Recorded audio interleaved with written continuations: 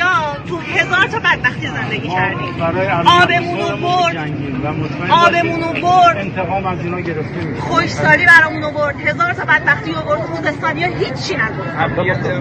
فقط یه امنیت داشتیم که همین امنیت هم به باد فنا این. جوانایی که الان این کارو کردن مطمئن باشید از سر بیکاریشون این کارو کردن.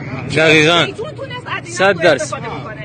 برید ملاشیه. صد درصد. برید ملاشیه. برید شرقاباد برید لشکرآباد برید ایدو برید منبع ببینید مردم چه- بدبختی دارن زندگی. احسنت حقه. احسنت